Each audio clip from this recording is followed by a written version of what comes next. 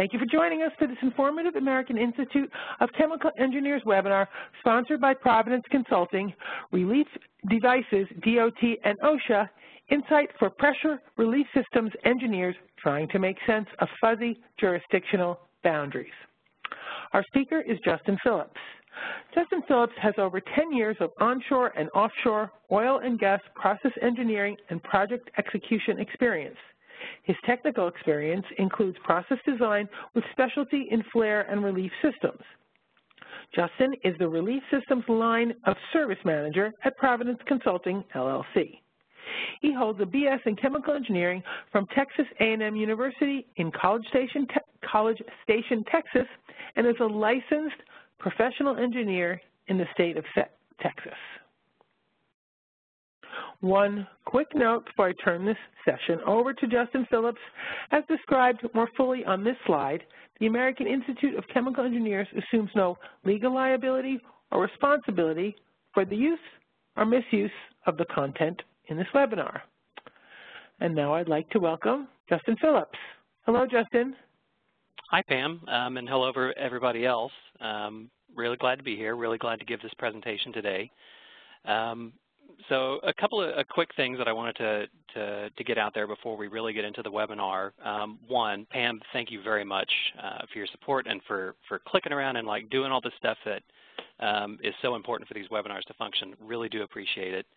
Um, to the audience, I have been fortunate enough to give um, several of these webinars over the years, and I'm, I'm glad that you're attending today, and I'm um, also glad for the feedback that we receive after these webinars. So at the end of the webinar, you're probably going to get some, some prompt that's going to ask you for feedback. How was the sound quality? How was the um, how was the experience? Those types of things. That is really, really important for us. It's also really important for AICHE because we all want to continue delivering things that are useful and beneficial to you as engineers or technicians or, or, or as well other professionals working in this industry. So um, really looking forward to getting your feedback. Um, the other thing is that I, I want to make sure that these webinars are useful, that you can, you know, stick them in your back pocket, maybe not literally stick them in your back pocket, but that they're useful, that you can rely on them, you can go back to them, um, and and just have that knowledge available to you. So thank you for, for pre-registering. Um, like Pam said, this webinar is going to be published. There's going to be a PDF version of it. Um, and one of the one of the things that we've learned is really beneficial for people is questions and answers. So at the end of this presentation, we're going to have time for Q&A, but it's not going to be forever. Um, and there's going to be questions that we will not be able to get to over the phone.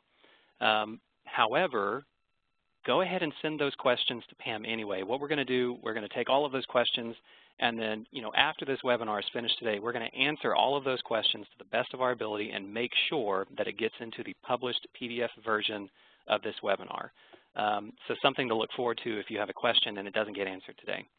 Um, anyhow, so we're going to go ahead and get started. I know that this title is a mouthful, um, but the, the reason for this is because over the years I've had a lot of experience um, with refining, with, with petrochemical, um, and then have been lucky enough to get you know some experience with parts of midstream, with gas processing plants, with some of the transportation, the distribution networks, um, and what we have found is that it is really awfully confusing sometimes to tell the difference between something that is controlled by DOT, not controlled, but has you know jurisdiction under DOT versus OSHA.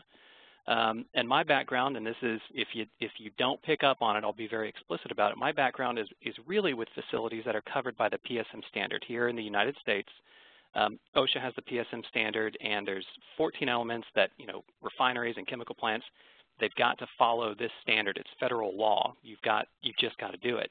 And so I've kind of been groomed to think in that PSM mindset, whereas for facilities that are, that are under DOT jurisdiction, the rules are different. And this is what this is about. So the bias that I have is, is more towards something that has a PSM mindset and not necessarily the DOT mindset. I think that my bias will be appealing to somebody, and for some of those, some of uh, you in the audience, it may be unappealing, uh, but we're going to talk about that as we go through the webinar. So uh, let's go ahead and get started. Purpose of this webinar, um, so if, if you're DOT focused or if you're PSM focused, um, we're going to see what the guidelines are on the jurisdictional authority, like who, who says, um, what do the rules say and how are they applied? Um, one of the, the things that we're going to get into specifically is because, you know, I'm a pressure relief systems engineer, kind of run a group of pressure relief systems engineers and do that type of work. What are the specific differences? What are the what is the difference in the rules um, and how you have to apply some of the, you know, the mechanical things um, to your pressure relief system design and then kind of higher up, what is what are the differences in philosophy? Um, and then the other thing, like I, like I mentioned earlier, is I want the audience to be able to use this webinar as a quick reference um, in their, their work now and in the future. Um, who do I think that the audience is? One, this is one of the things we have to do. We have to tailor our presentations to the audience. My, my bet, my guess is that we've got people from one of two parties, mostly. Um, one is going to be U.S. midstream terminal and transport um, type uh, professionals, people who work in you know terminals, people who work for pipeline companies, and then the other set of people maybe folks who work in refining or petrochemical chemical plants um, that kind of have that PSM uh, focus already. Quick agenda. Uh, we're going to go over DOT PHMSA and OSHA PSM. We're going to go over history of those things, look at what's like a high level, what are the rules. Um, we're going to talk about the jurisdictional boundaries, um, what they supposedly should be, and then how it can get a little bit contentious between the two jurisdictions. Um, going to get into some of the specifics, uh, the similarities, differences, and the impact on pressure relief system design for PSVs, for instance. And then we're going to go over one real-life anecdote that I think is pretty interesting.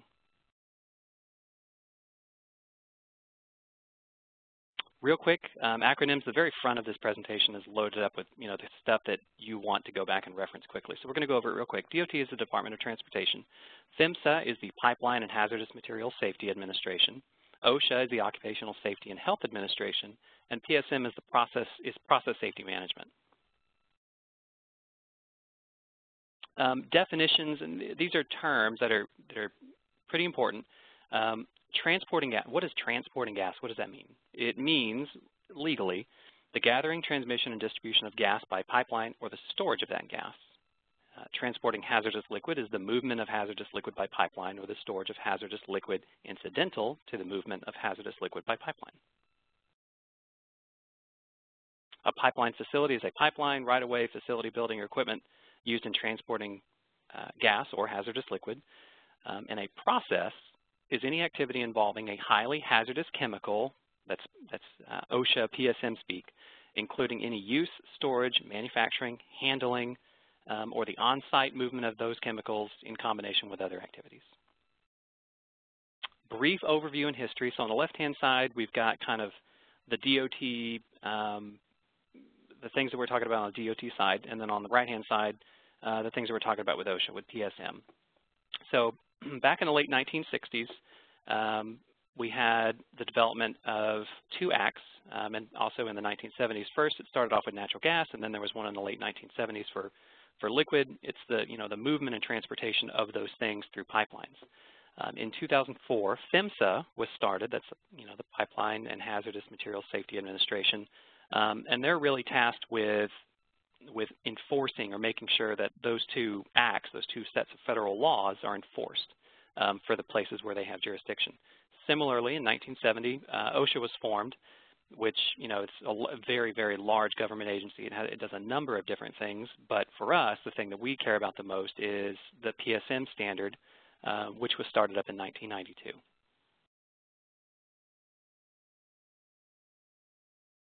Quick overview of the relationships.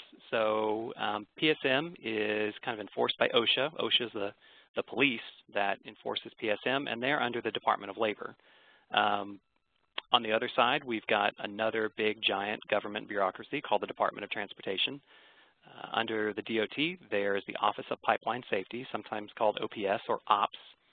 Under them is PHMSA, and PHMSA is responsible for enforcing uh, this part of federal law called 49 CFR and then sections 190 through 199. The ones that we care about the most today are going to be 192 and 195.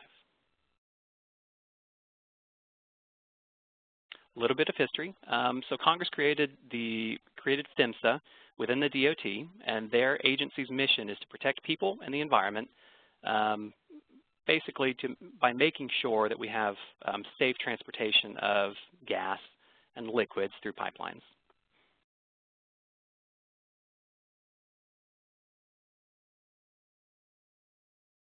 But let's be careful here. There was there, it's something funny um, in our in our kind of like research into the history of all of these things, um, and you can see it in the definition, like the way that they were the way that they were created. Um, PHMSA was never intended, and and they've said so themselves. They've never been intended to protect workers. And so this kind of strikes me as odd because coming from the PSM mindset, the PSM background, it's very strange, right? Because I'm thinking about workers. I'm thinking about the safety of workers that are inside refineries or chemical plants or, or what have you. Um, and so I, like, I, I focus on rules that are related to the protection of workers. But you've got another government agency, PHMSA, that's responsible for protecting the public and the environment, not specifically workers. It's a different, different point of view.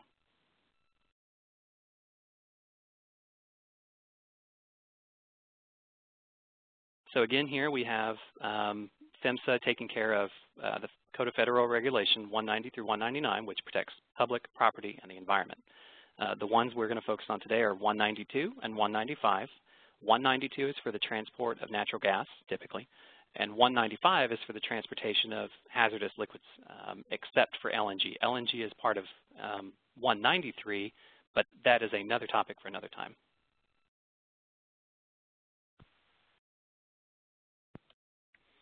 Back to definitions. Um, the reason I get back to definitions is because it's these definitions that are that are written into the law, and it's and it's these definitions and the way that they're written which gives the authority uh, to these folks to have the jurisdiction where they have it. Um, what is transporting gas? Transporting gas is the gathering, the transmission, and the or the distribution of gas by pipeline or the storage of gas in or affecting interstate or foreign commerce.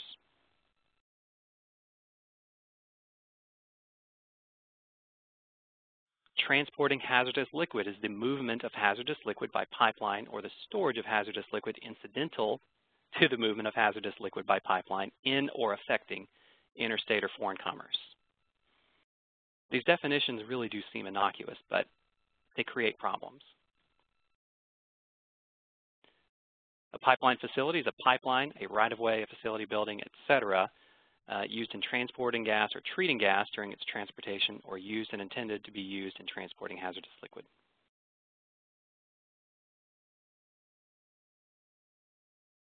Part 195, um, there's a couple of exclusions that are written into Part 195 that are, that are significant um, that Part 192 does not have.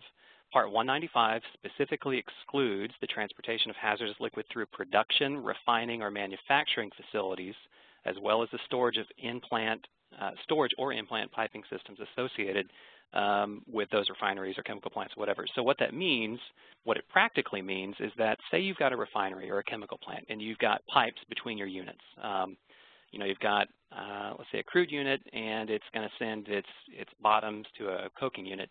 And you, instead of doing it, you know, um, through the air in a pipe rack, let's say that you did it underground for some reason. Um, well, that's transporting liquids, which are probably hazardous, underground, um, and that's a pipeline. But what this says is that, well, Part 195, PHMSA has no jurisdiction over it because it's inside of a refinery. It's inside of one of these processing facilities, and that, that seems to make sense. Um, the other thing that 195 excludes is the transportation of materials through transportation terminals, um, like, a, like a terminal facility, um, if there is transfer from like by pipeline to the terminal, and then the terminal turns around and then um, puts that liquid into a tanker car or a, or a rail car. If it does something like that, if that facility um, switches between modes of transportation, between pipeline and something else, then Part 195 does not apply and PHMSA does not have jurisdiction. Part 192 is interesting because it does not have those exemptions. It, it does not have those exemptions or anything similar to them. And that's kind of where the friction begins because if you're transporting something inside, inside of your facility, underground, through a pipeline, and it's a gas, well, Part 192 doesn't specifically exclude that. And that's where you start to get some of this friction, some of the contention uh, between the different standards. And not necessarily from the government agencies, possibly within your own, within your own company if you happen to have one of these facilities. Now let's talk about OSHA. So background on OSHA, if, if you've attended any of my webinars in the past, you've probably heard all this before, but if you're new to OSHA, if you're new to PSM, this will be you know, kind of a learning, learning experience. So Congress enacted the OSH Act back in 1970 to address worker and workplace safety. Um, and it, you know, it does a number of things. OSHA, it, OSHA covers practically every facet of every industry in the United States. Um, as most of you know, over the over the years, you know, from the from the industrial revolution through today, there's been you know accidents, bad things happen, um, and basically the United States got fed up with it and decided, you know what, everybody needs to meet a minimum standard for process safety management. Some companies were already doing these things and doing them very well. Other companies were falling short, and so the United States wanted to set a set the bar, set a minimum bar for process safety management for certain types of industry with certain quantities of certain chemicals. Um, and that's why they got the PSM started in 1992. Basically, PSM is a set of requirements for pre preventing or minimizing the consequences of a catastrophic release of toxic, reactive, flammable, or explosive chemicals.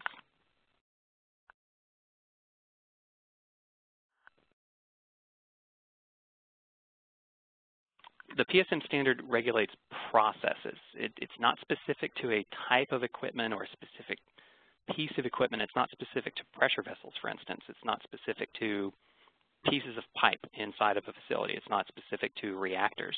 Um, it's specific to processes. And as process engineers, if you're a process engineer, um, we recognize that processes can be any number of different things. You know, you've got vessels, you've got you've got um, prime movers, you've got pumps, you've got compressors, you've got all pipes, you've got all kinds of cool stuff. Um, PSM covers the process, which you know encompasses a lot of different types of pieces of equipment. Um, but it's not every process. It's only those that have a threshold quantity, a TQ, of certain predefined highly hazardous chemicals, HHCs.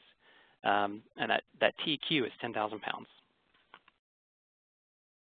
And then I've got my definition of process. Again, the definition of process is important because it's defined um, in, a, in a federal law, and it's you know it's these definitions written into the federal law that wield so much power. Um, a process is any activity involving a highly hazardous chemical, including any use, storage, manufacturing, handling, or the on-site movement of such chemicals, or a combination of these activities.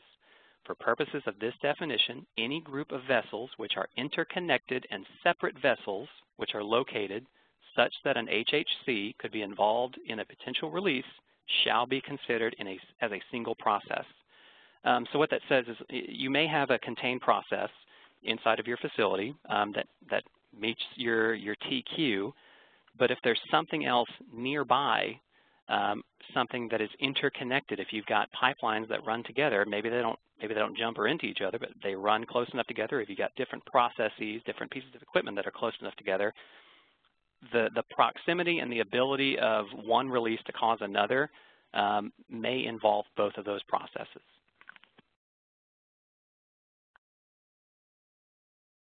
What it practically means is that if you've got a refinery basically everything, even if it's not a highly hazardous chemical, is probably covered by PSM. For instance, your utility headers. Um, water is pretty safe, um, but if it's interconnected with, you know, a heat exchanger network, which is then interconnected with a bunch of highly hazardous chemicals, it's probably also covered by PSM. One of the things that OSHA did right when they got started with the Act, not immediately, but pretty soon after, um, now, actually, I think it was written into the law itself. So what they did was what's called the OSHA preemption. And basically, the, the, the short version is that preemption is that if, if OSHA wants to apply its rules to a certain type of place, um, but that certain type of place, that, that workplace or that industry or that facility, if it's already covered by another federal agency, then OSHA is preempted um, from, from having any jurisdiction over it. Um, the, the quote from the law is, nothing in this act shall apply to working conditions of employees with respect to which federal agencies exercise statutory authority or prescribe or enforce standards or regulations affecting occupational safety or health. Now, this is a little bit different from what PHMSA does. PHMSA, you know, remember specifically, exclude, they're not intended to do worker safety. Um, they're intended to protect the environment, to protect um, facilities, you know, like equipment, and to protect um, the public, but not workers. It's not intended to protect workers.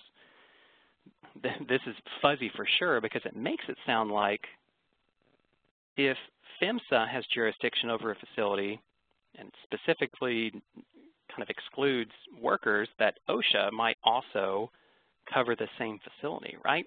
It's, it's really kind of confusing. Um, but it just taking a step back, it does kind of follow that one agency's rules should not be mixed up with another agency's rules um, because you don't want to apply two sets of rules. You, would be having two masters, and what if the rules are contradictory to one another? So the best bet is to keep them separate. Um, just keep one jurisdiction separate from the other jurisdiction. Makes it simple, right? Right?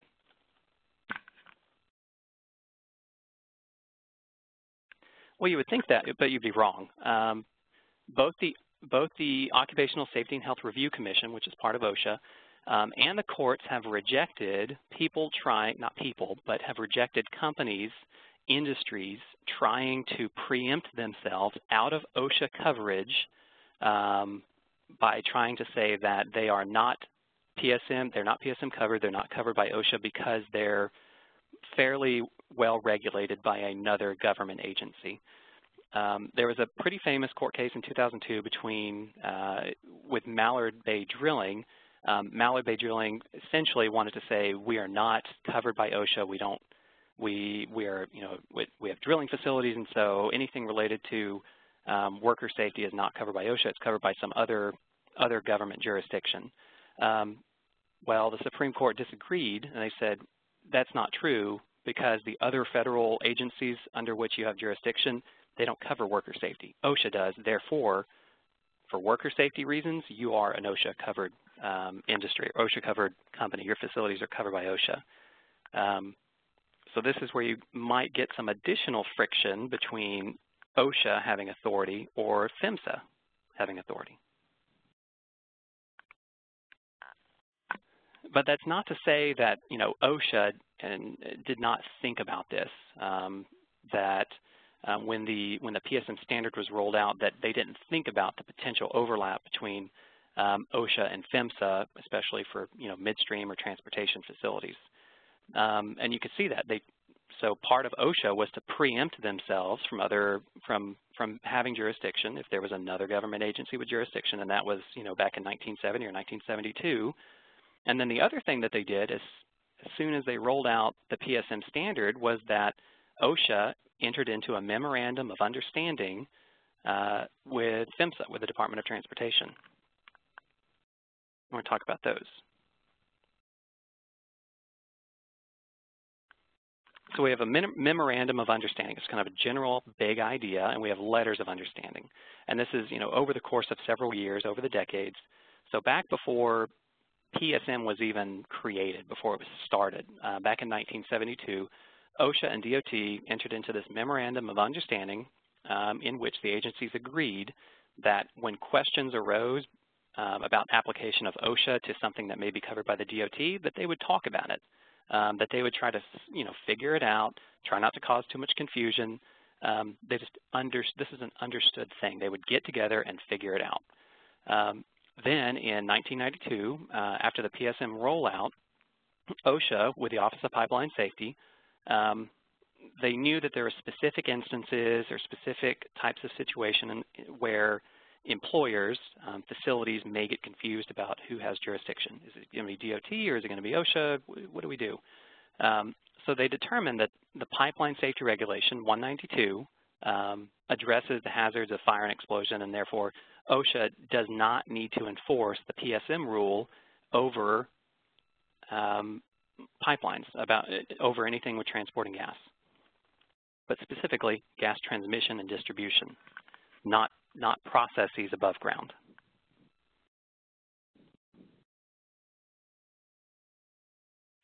There was another letter in 1998 where OSHA extended the preemption to LNG distribution. Um, so uh, for Part 193, again, we're not going to talk about that one today, but for LNG um, transportation and distribution, not the facilities themselves, but the transportation and distribution, not covered by PSM. Um, and, and I, I try to like draw attention to it, these interpretations, these letters of understanding specifically preempted OSHA from the transmission and distribution process, which is all the underground stuff, mostly underground stuff, um, not the processing facilities, not the places where you have the big processes going on. Um, OSHA believes that OSHA has coverage. The PSM standard applies to those types of facilities. Um, there was a, a, final rule that was written, and it did have some detractors from it um, that said, no, if it if it's if it's covered by a pipeline and it goes into a facility, that PHMSA should cover the facility as well. Well, the final rule said no. Um, OSHA covers those facilities, and PHMSA covers the pipelines.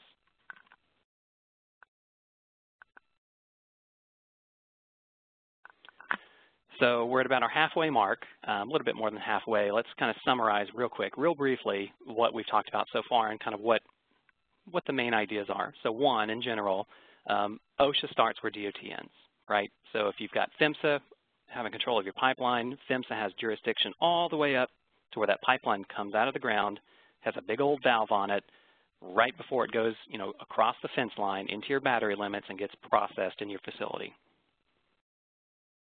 Two, um, the OSH Act includes a provision, it's called the exemption, um, limiting OSHA's jurisdiction if, it's, if a facility or place already has um, regulation by another, another federal agency.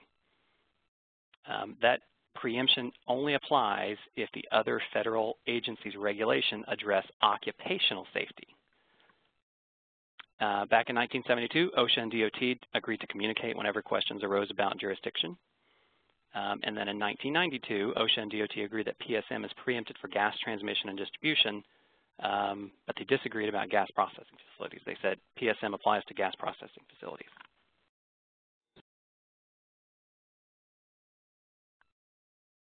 Moving forward, um, so for, for some of you if, you, if you're in the audience and you work um, for, a, for a midstream company or, or part of a larger company that has a midstream component where you've got terminals, this is where it, it, really does get hairy, where you're wondering, is it DOT? Or maybe you're not wondering at all. Maybe you already know.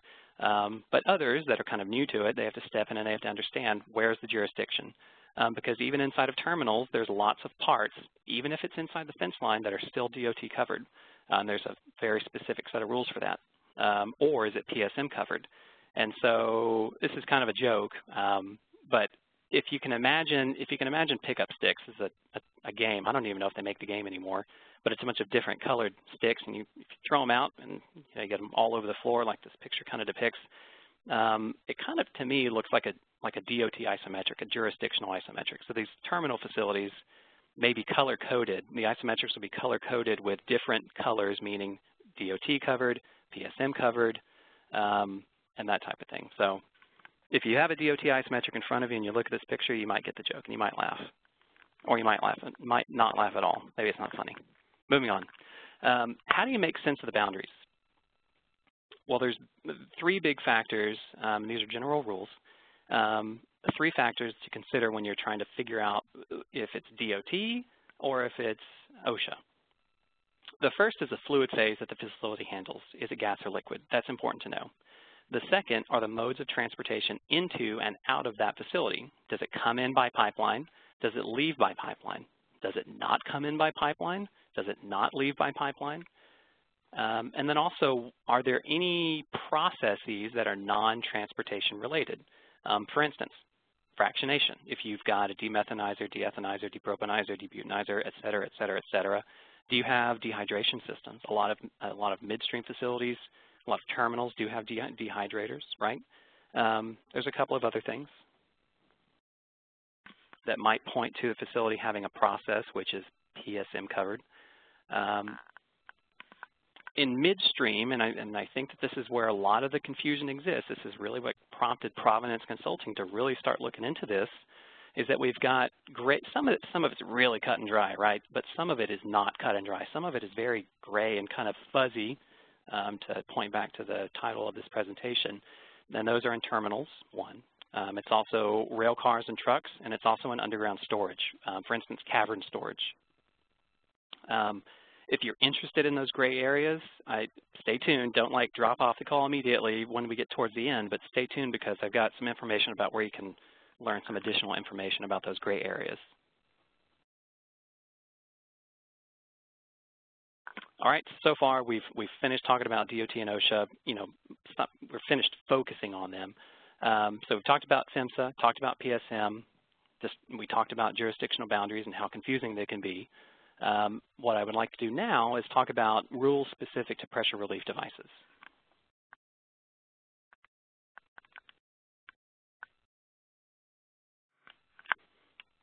And so one of the first questions that may come up is where do you even look for the rules that govern a pressure relief system design between PSM and PHMSA? Um, and this will be very similar to the way that you do it if you're you know, a PSM covered facility. One of the things I've um, given a webinar on before, start with your company standards. That's a really good place to start. This is the book of information, if you're so lucky to get a book, um, that has your company's way of doing things. It lists out their standard business practices. It probably also contains um, pointers, uh, maybe company-specific rules about how to do pressure relief system design, for instance. Um, the next set of how-tos, so after, you know, after you've got your internal standards, maybe it points to some consensus standards, some how-to stuff. Examples of that would be maybe API 520, uh, part one and part two, or maybe API 521, or maybe API 2000. Um, nice, well-known consensus standards. Uh, the next item that you're going to be pointed to is probably the codes of construction. So if you've got pressure vessels, probably ASME Section 8. Um, if you've got pipelines, if you've got pipe, it's going to be um, part of the ASME B31 series. And then finally, the regulations. So the last thing you probably ever think about is the regulations themselves.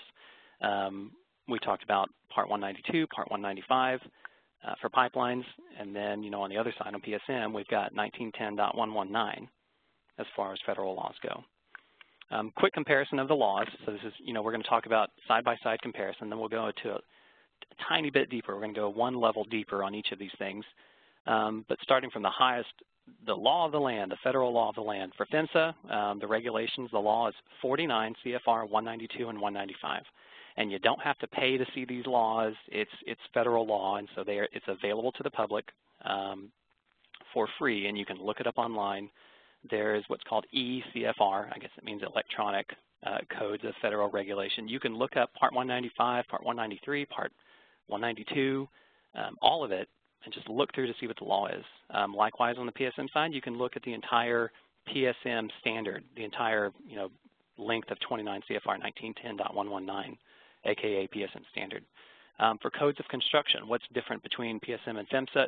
Typically for pipelines, you've got ASME B31.4, which is liquid transmission pipelines, and you've got ASME B31.8, which is gas transmission pipelines. Again, transportation, lots of pipelines, it makes sense that those would probably be the codes of construction that you would use. Um, on the flip side, for PSM, a lot of facilities are, you know, you know, refineries, chemical plants, things like that. They've got plenty of pressure vessels, so one of the codes of construction is going to be ASME Section 8. Um, if you've got uh, boilers, it's going to be power boilers, ASME Section 1.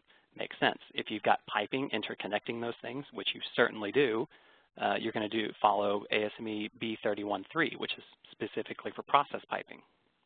And then as far as consensus standards go, on the PSM side, it's kind of like the same thing we've always seen, we've always used, we've used it for decades. API 520, Part 1 and Part 2, for instance, API 521, API 2000, so on and so forth. For PHMSA side, it's ostensibly, you know, the same set of consensus standards when it comes to pressure release system design. Again, API 520, Part 1 and Part 2, 521, um, that sort of thing. So nothing, nothing too different. Um, but the, the federal regulations and the codes of construction are certainly different. Let's talk about the regulations themselves. So PHMSA regulations, so we've got um, subparts of 192 and subparts of 195. Um, likewise, we have subparts of 1910-119 that we can look at. So specific to pressure release system design. On the PSM side, it's a very, very short subsection.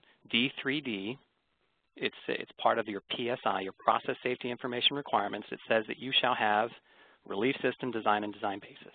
And that's it, period. It's not a whole lot of words. It intends a whole lot of work and a whole lot of stuff but it's really, really simple. It just says you have to have a relief system design and design basis for your pressure relief systems. That's it. On the PHMSA side, um, it doesn't say that. It says, a, it says a couple of different things, not terribly different, but a couple of things.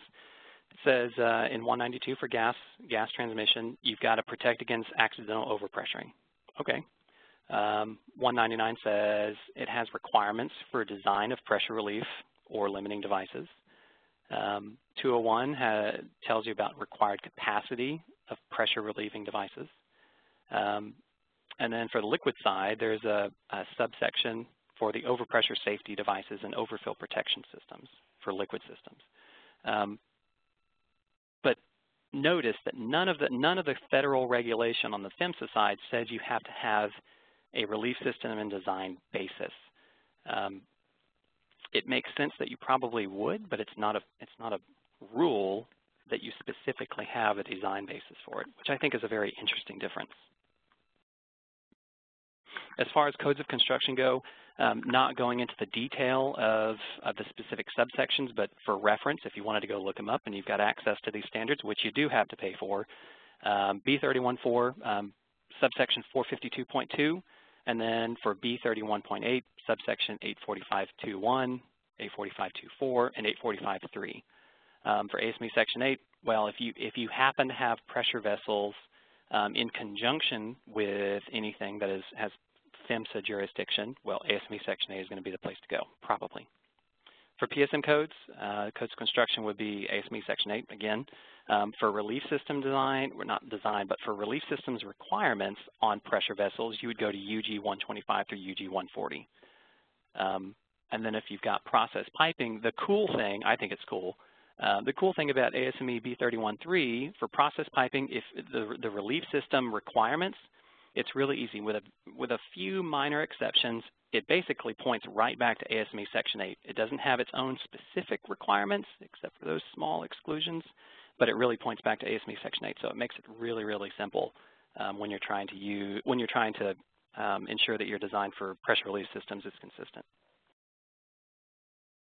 And then as far as uh, the standards that we would use to do stuff, so in PSM, 520, Part 1, Part 2, 521, the, the entire documents are nothing but pressure relief systems. Um, with PHMSA, it's not, it's not explicit anywhere, but if everybody else is using that standard here in the United States to, to size a relief device, to install a relief device, to size for potential overpressures for relief devices and, and protected equipment, it kind of makes sense that you would use the same standards. Let's talk about some of the fundamental differences, though. Um, the differences that I look at that I, that I find striking are at the very, very tip-top level. Um, PSM explicitly requires a relief system design and design basis. It's explicit. You have to have it. It is something that if OSHA comes into your facility and you don't have it, you're in big trouble. Um, PHMSA, on the other hand, implicitly requires a relief system design basis. And it's implicit only because it says you need to protect against overpressure. And protect against overpressure, you have to know what kind of overpressure, how much, how am I going to size for it. It doesn't say you need to, it doesn't say you need the basis. It's not explicit. It is kind of implicit, though. Um, but without that explicit guidance, you would go back to your company standards, which might require you to develop that design basis anyway. Um, in the present, in my experience, there's a there's a correlation between non-existence of relief system design and a lack of explicit requirements. So if nothing told you you had to do it, it's no surprise that there is no design basis some other differences. And Pam, I know we're running up on time. I know that we wanted to save 15 minutes for questions, so I'm not going to try to rush the anecdote at the end. Um, but this means that if you've got questions already, go ahead and send them to Pam. Um, you send, send it to host. Pam is going to get those things all written down so that we're able to answer some of them today and some of them later when we publish. So I just wanted to say that real quick. Other differences. In the regulation as well as the design codes, there are only a handful of relief system differences between PHMSA and PSM covered, uh, PSM covered facilities. Um, and they're they're very it's minu this is really minutia now. So if you are a pressure relief systems engineer doing pressure relief system design on pipeline, this is going to make this is going to be really interesting for you. And if you're not, it might not be so interesting. Um, so it, I think it's pretty cool, but it says in for gas, you don't need to protect a gas distribution system that has a maximum allowable operating pressure less than 60 psi if you've got a decent, and I use the term decent, upstream regulator, um, nor piping that has an MAOP greater than 60 if you have two decent regulators, which is really, really different. This is very different from PSM because we are not allowed to use, well, that's not technically true. We are typically not allowed to use control valves or control devices, pressure regulators, to protect us against overpressure. It's very different. It's something you never, never, never do, um, except for some very specific situations. And so it's just kind of strange and different to see that you can get away with using a regulator to protect against overpressure.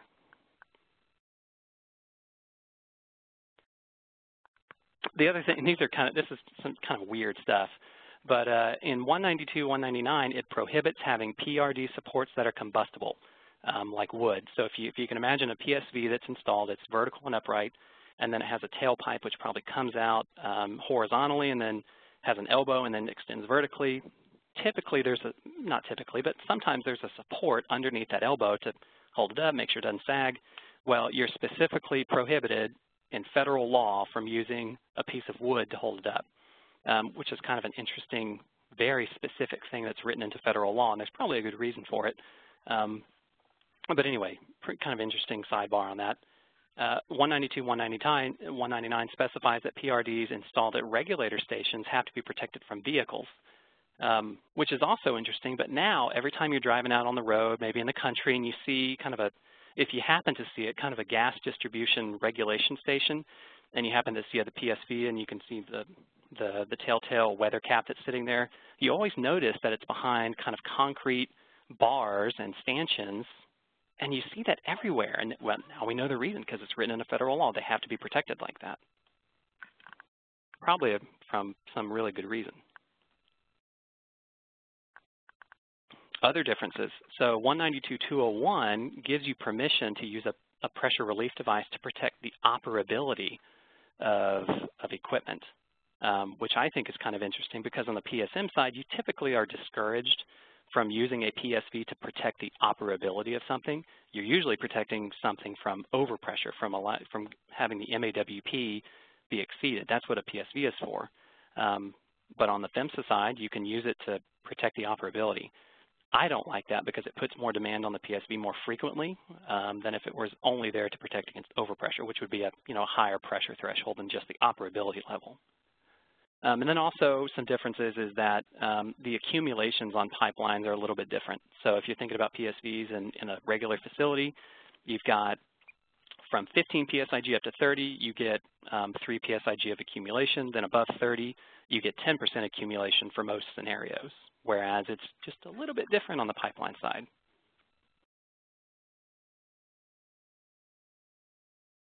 Oh, and then the other thing, again, using non-pressure relief devices like a regulator or a control valve to protect against overpressure, um, which is just strange. It's very strange if you come from a PSM kind of background.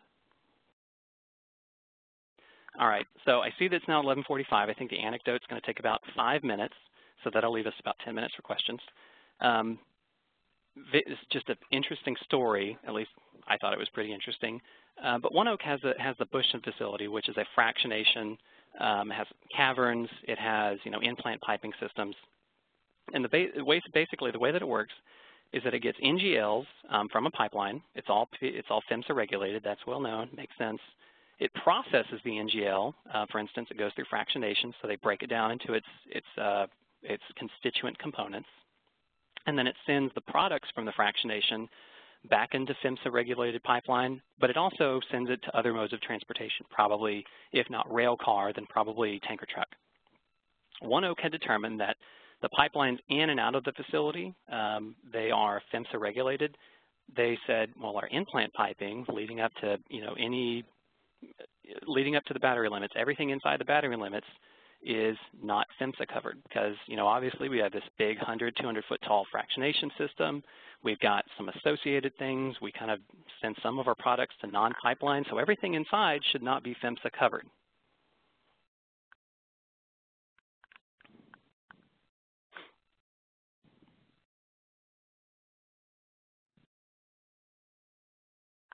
which seems to make sense because 195, and this is for, for liquids, which liquids is what they got, um, li the liquids, the CFR specifically excludes transportation of those liquids through the production, refining, or manufacturing facilities, as well as any storage that they might have, and also for the in-plant piping.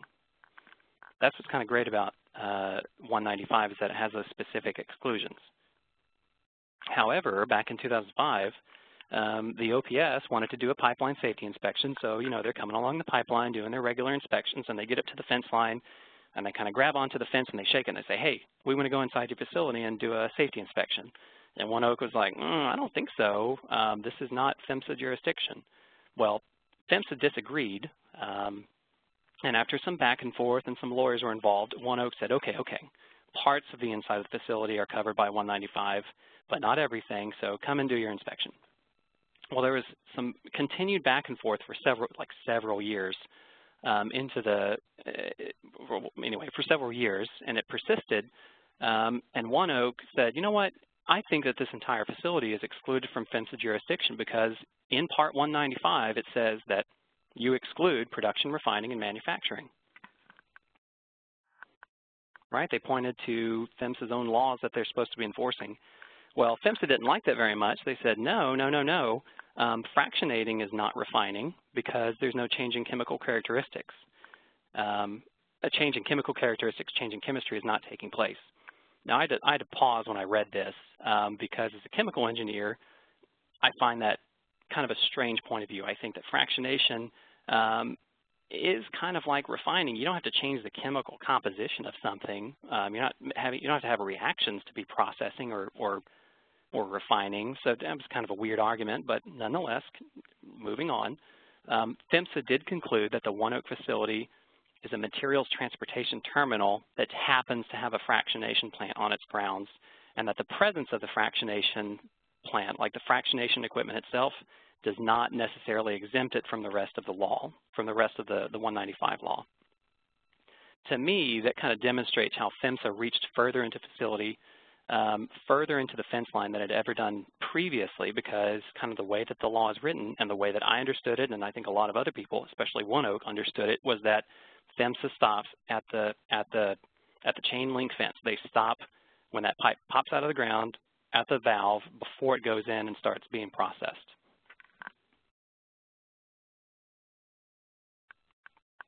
quick meme if you're into memes. Um, I'll save that for the, I guess, for the published version. You look at it, have a laugh, or not have a laugh.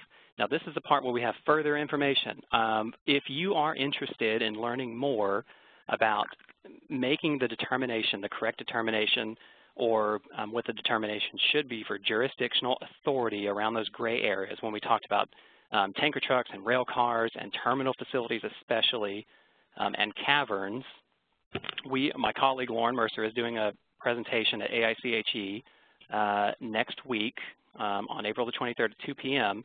So if you're able to attend the AICHE spring meeting, by all means, go and have a look at that. Um, there's also a paper associated with it. Might have some pretty good information. Now it's time for Q&A. Um, Pam, is there any questions?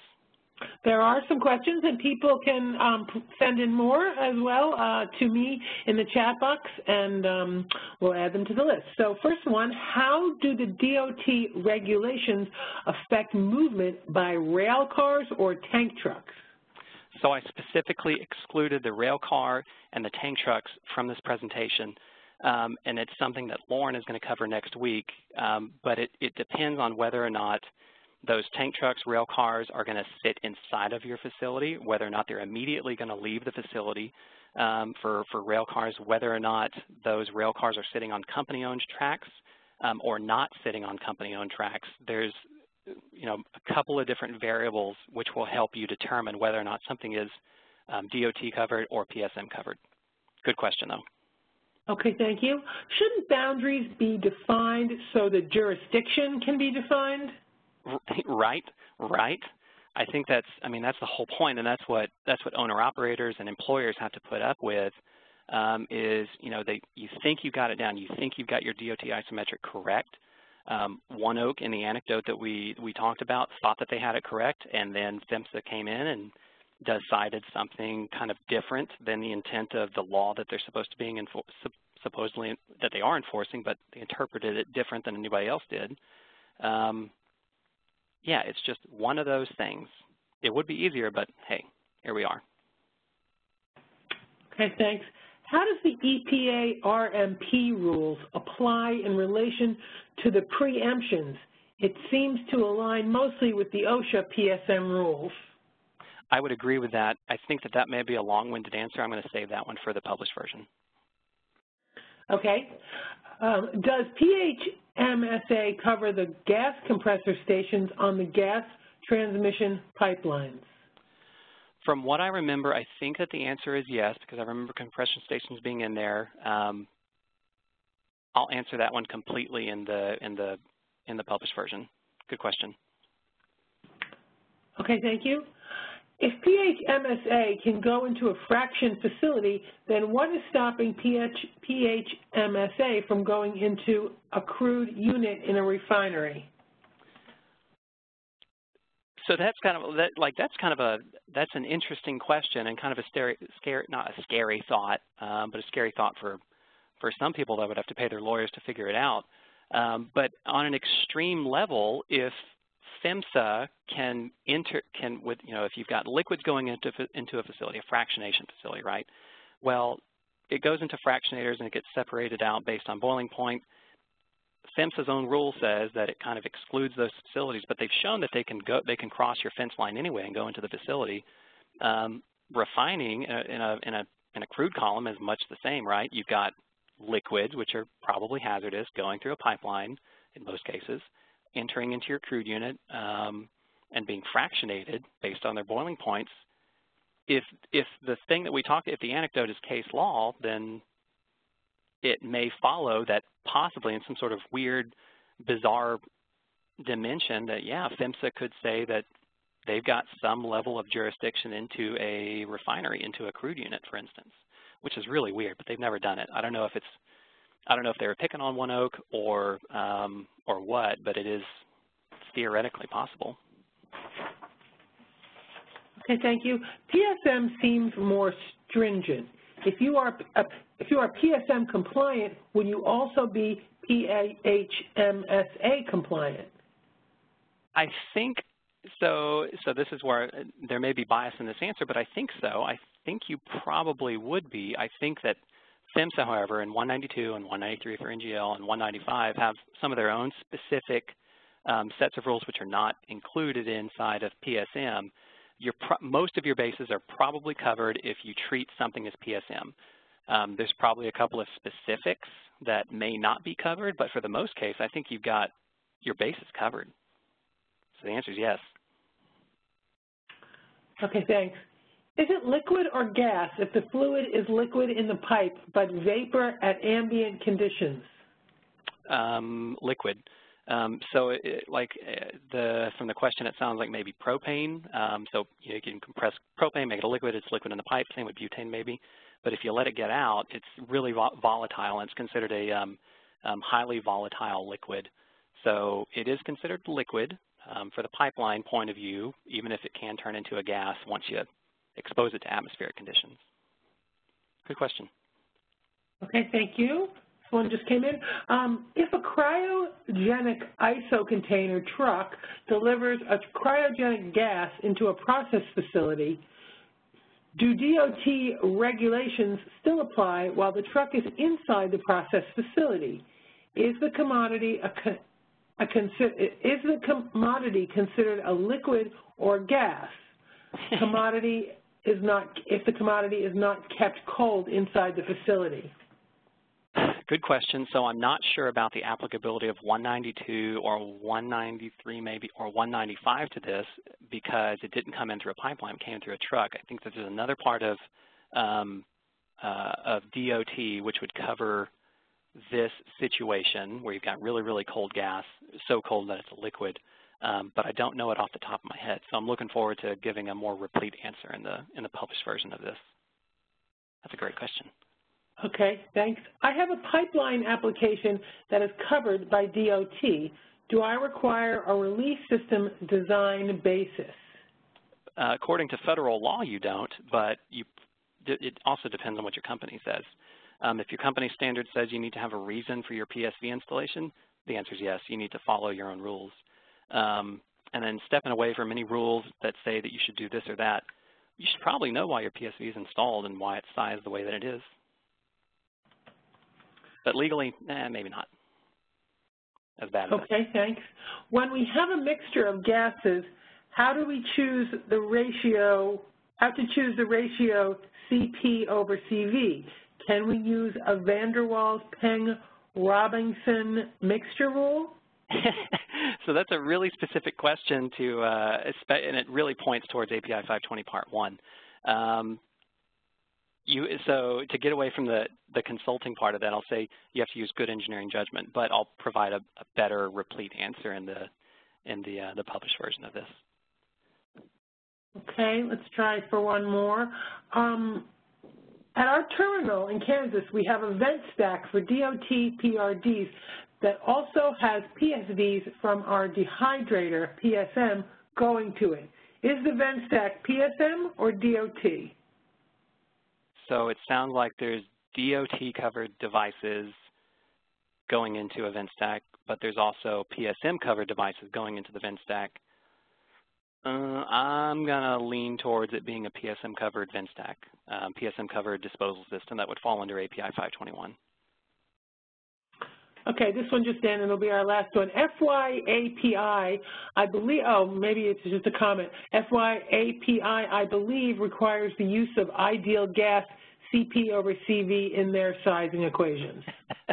so, so, real gas versus ideal gases um, again, try to incorporate in, that into the, the question before last where we had that. Okay. I'm sorry. I think that's all the time we have for questions. Let's see. But if people still um, have questions on their minds or think of one a little later, they're welcome to send it in to me, and I will forward it um, to Justin. So now on behalf of the American Institute of Chemical Engineers and everyone who attended today, I'd like to thank Justin Phillips for this informative presentation. Thanks also to our participants for your cooperation and thoughtful questions. Please visit aiche.org to replay this session or to view and sign up for our many others. A reminder to also please fill out the evaluation form that will appear on screen when you log out. Goodbye, and we hope to see you again in a webinar soon.